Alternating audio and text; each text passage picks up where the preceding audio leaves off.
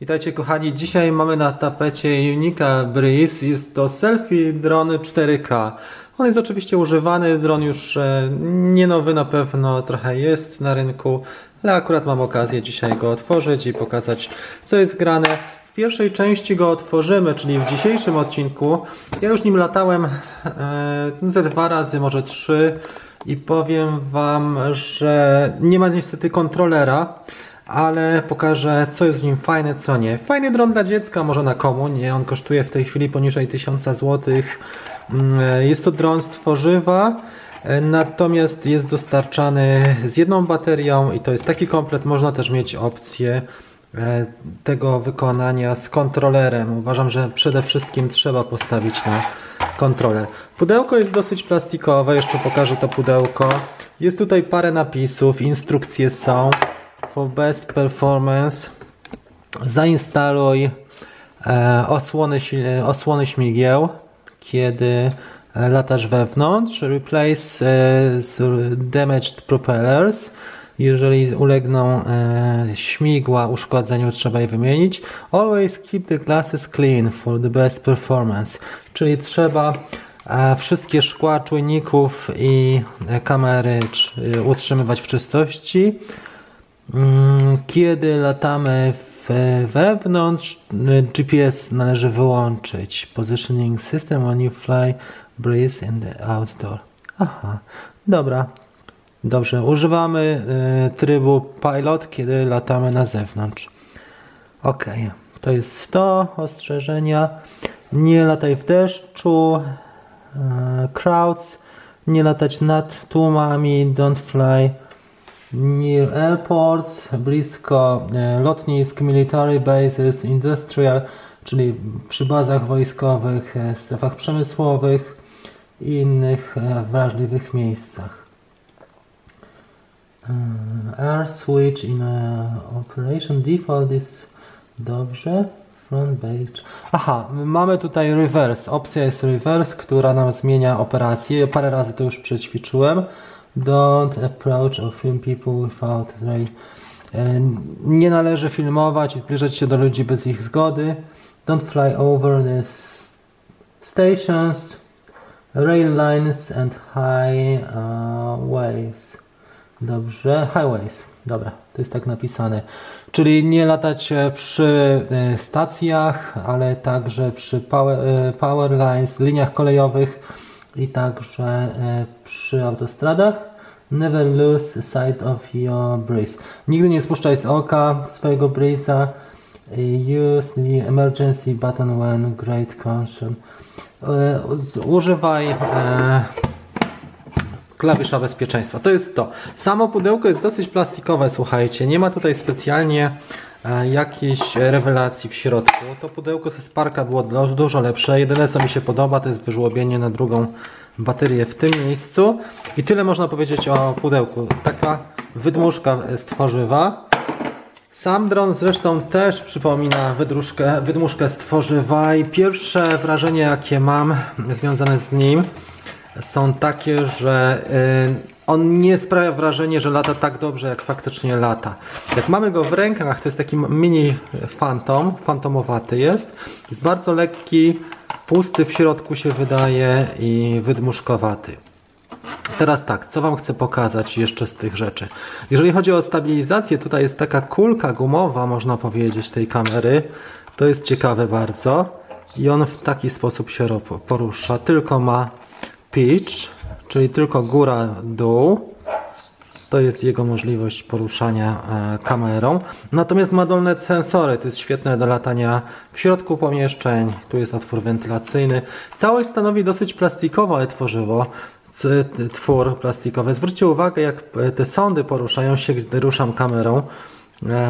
Nie jest to takie solidne wrażenie jak na przykład w Sparku. Tutaj widzimy, że ta obudowa zupełnie nie pasuje nam do wnętrzności, nie stanowi tego, to całości. I tutaj też widać w gnieździe e, tym mikro USB, jak daleko jest to gniazdo. Jak popatrzycie na to, to ono jest tak z pół centymetra, może centymetr e, w głąb. I jak ruszam kamerą teraz, to też całe się to przesuwa cudo w środku. To jest jazda. No dobra, w każdym razie e, jest to dron tani, pamiętajmy o tym. E, ma cztery śmigła i podwozie jest rozkładane. Tak, faktycznie. Bateria jest ładowana od e, tutaj z tyłu. To jest to. Rozłożymy sobie podwozie jeszcze raz i spróbujemy go włączyć. ok, spróbujmy go włączyć. Czyli mamy tylko przytrzymać klawisz, przycisk włączenia i to jest wszystko. I o ile w domu fajnie widać we wnętrzach, to na zewnątrz nie widać nic praktycznie. Po włączeniu widzimy, że tutaj mamy czerwoną lampkę w tym miejscu, ale nie ma zewnętrznego oświetlenia innego niż tylko tu po prawej stronie i z tyłu lampka zaczyna migotać. W tej chwili widzimy, że jest już inny kolor lampki. Ja spróbuję w tej chwili przejść do ustawień telefonu. Coś zaczęło w środku pracować.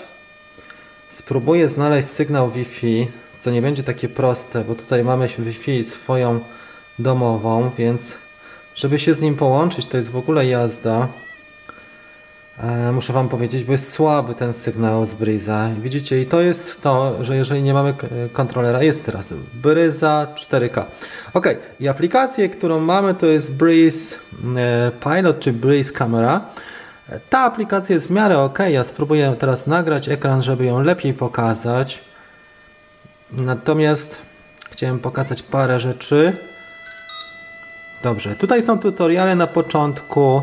Jest trochę takich instrukcji bezpieczeństwa. Pod tym względem jest to bardzo fajne. A tutaj już mamy widok z samej kamery. Jak widzicie, dość dobrze się łączy i jakość jest, no powiedzmy, średnia. To nie jest na pewno taki sensor jak jak ten sensor, który mamy w domu, slide to proceed, czy ja już będę nim tutaj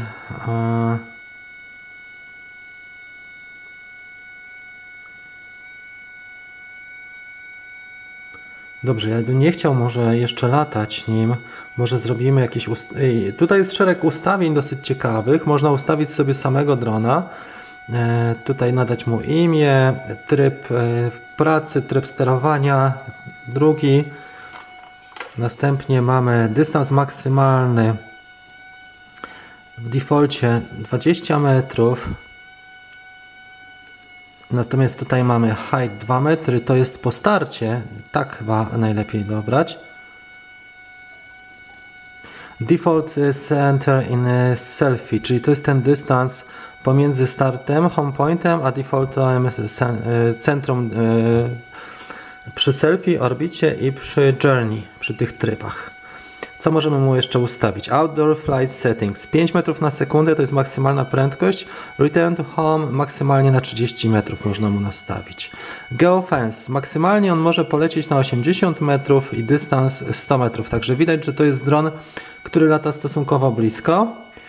E, kalibrację kompasa można e, mu zrobić z tego, a tutaj e, są zadania, które mamy. Pilot, selfie, orbit, czyli można zdeaktywować, jeżeli na przykład nie mamy kontrolera, nie będzie nam to potrzebne. Dobrze, przejdźmy teraz do video settings. Mamy tutaj 4K, mamy też Full HD i HD. Powiedzmy, że chciałbym nagrywać Full HD. Photo settings, medium e, i ultra high, tylko takie ustawienia i ustawienia generalne kamery nature, saturation, raw i night. Takie cztery tryby. Tu mamy jeszcze reset i formatowanie. No dobrze, następnie measurement units. Mamy metryczny system, nieimperialny, brytyjski i to właściwie tyle, jeżeli chodzi o te ustawienia. To jest aplikacja, kontakt e, z firmą. Fajnie, że jest też e, tutaj w PDF-ie dodatkowo e, w ośmiu częściach, na ośmiu stronach nasz, nasza instrukcja. I to właściwie tyle. Bardzo prosta jest ta instrukcja. Nie mamy tutaj jakichś specjalnych wymagań. Dobrze. Tu są certyfikaty i to właściwie jest tyle. Dan. 18 stron, większość z certyfikatami. I to jest ta aplikacja, słuchajcie. Fajne jest to, tutaj są też zdjęcia e, i odtwarzają się. Jest mi trudno to przegrać, ale mamy tutaj całą galerię, czyli w aplikacji, e, jako że nie ma karty pamięci, e, na, w poziomie aplikacji możemy sobie to obejrzeć. Mamy tutaj na przykład takie zdjęcie moje z wystającym brzuchem, ale ciężko jest też obejrzeć coś, bo trzeba to ściągnąć od razu. Widać, że nie możemy sobie obejrzeć w tej aplikacji. No dobrze, w każdym razie, e, pierwsze wrażenia moje są takie. On jest dość plastikowy. Ten live view ma w miarę fajny. Controlling camera, pitch, recording video. Adjust the camera. Landing. Dobra, mamy to. Możemy w takim razie rozpocząć. Take off. Wow. Sprawuje się bardzo dobrze. Muszę Wam powiedzieć, że naprawdę mega się sprawuje dobrze. Jak precyzyjnie on ogarnia wiszenie.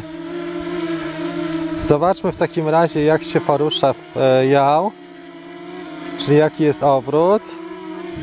Dość ładnie się obraca w drugą stronę. I na drążki bardzo dobrze reaguje. Obniżę go delikatnie, żeby go było lepiej widać na tym tle. Dobra. A teraz spróbujmy w bok przelecieć. I polecimy kawałek do przodu. Teraz zobaczymy jak on się sprawuje przy locie do przodu. O, i tak jakbym miał drążki pomylone. Lata dość ładnie. Mam jednostki w stopach. W tej chwili jestem powyżej 100 stóp. Muszę się troszeczkę podnieść. Teraz go nieco ściąga. Podniosę się nim. Dobra, spróbujemy wrócić. Tak jakbym stracił zasięg w tym momencie. Wi-Fi lost. Zobaczmy co on zrobi, kiedy jest Wi-Fi lost. Wygląda na to, że na razie wisi. A jestem niecałe 200 stóp, czyli jakieś 50 metrów. Mam nadzieję, że go nie zgubię. Wi-Fi lost. Podnosi się.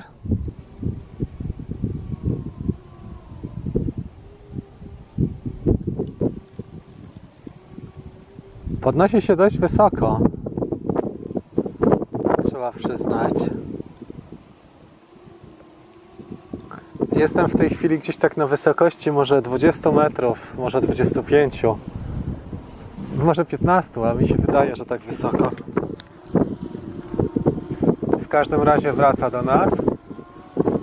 Odzyskałem Wi-Fi. Świetnie. Dobra. Ekran się nagrywa cały czas. Odzyskał panowanie nad sobą. Polecimy troszeczkę niżej. I polatamy tutaj blisko w takim razie. Ja go powracam. Jest za mocny wiatr, żeby latać tak daleko.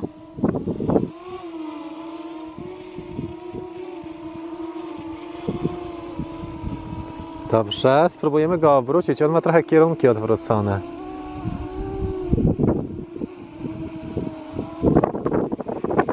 Dziwnie lata, muszę powiedzieć. Niżej. I teraz do przodu, do tyłu, czyli do nas, bok, ale radzi sobie świetnie. Jak na takiego małego bąka, to dość ładnie trzyma przede wszystkim. E, hovering, czyli zawis. Teraz zobaczmy, jak on tą kamerą porusza. Tu z przodu nie ma żadnych sensorów. Ok, spróbuję zrobić zdjęcie.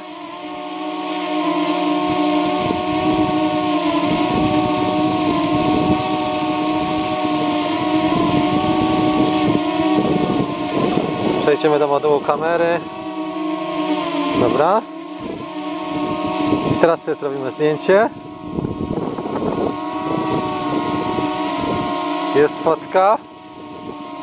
Dobra. Przejdziemy do modułu znowu joysticka.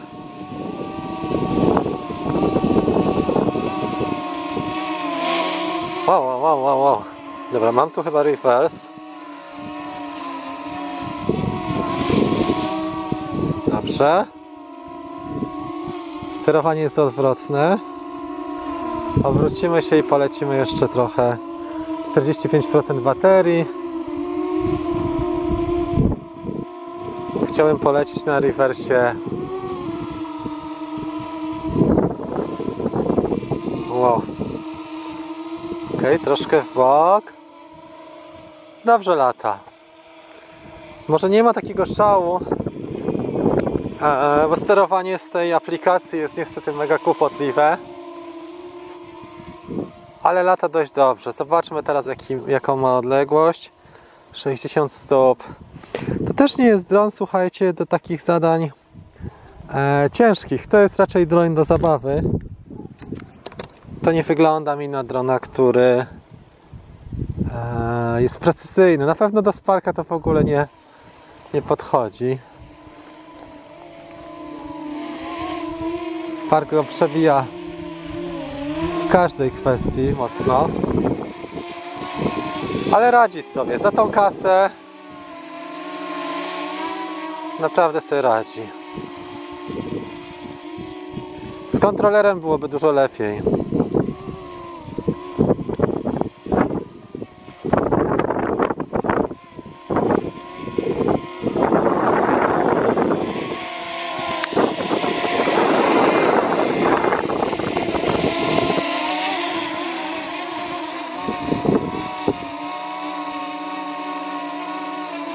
Dobrze, nagrajmy jeszcze trochę.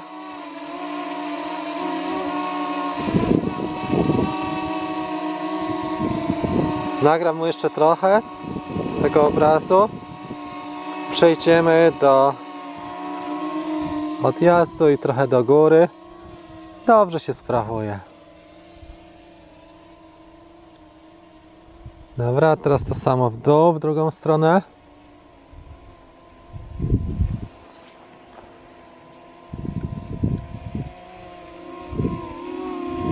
O, idzie równo.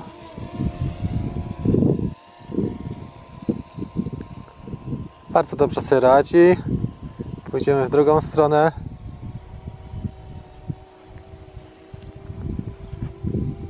Teraz niżej. Jest ok. Spróbujmy teraz jak najszybciej polecieć.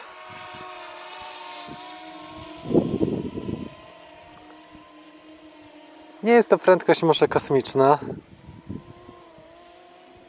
Ogarnia i jest bardzo ładnie podatny na bodźce.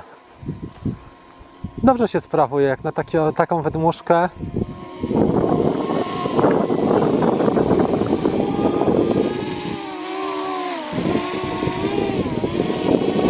Obrót.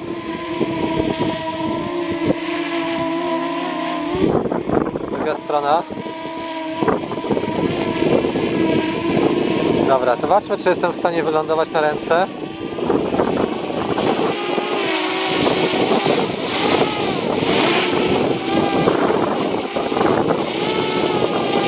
Nie da rady wylądowanie na ręce.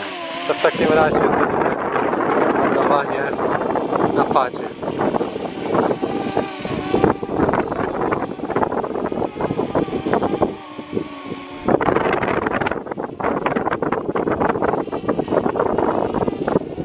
Teraz stracił w ogóle panowanie nad sobą.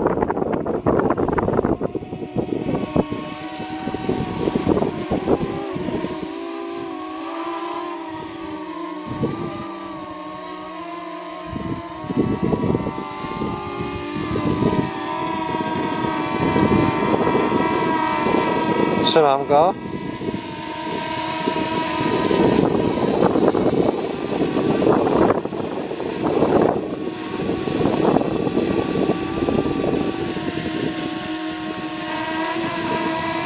Teraz będzie lądowanie. No i mamy to.